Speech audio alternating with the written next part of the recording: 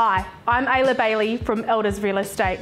If you're looking for a classy residence right in the heart of the CBD, come and take a look at number 17 in the Plaza Apartments.